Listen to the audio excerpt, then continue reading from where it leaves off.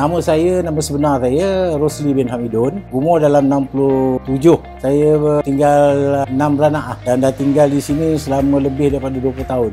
Jadi benda ni terjadi macam sudden. Kita pun tak tahu. Tiba-tiba benda tu daripada tak ada menjadi ada. Saya pun tak expect benda ni semua. Jadi mana macam saya tak jangka lah apa yang saya dapat, apa yang saya terima sehingga kan Puan Sri Azizah pun sanggup turun padang melihat sendiri eh, macam mana rakyat yang sebenarnya.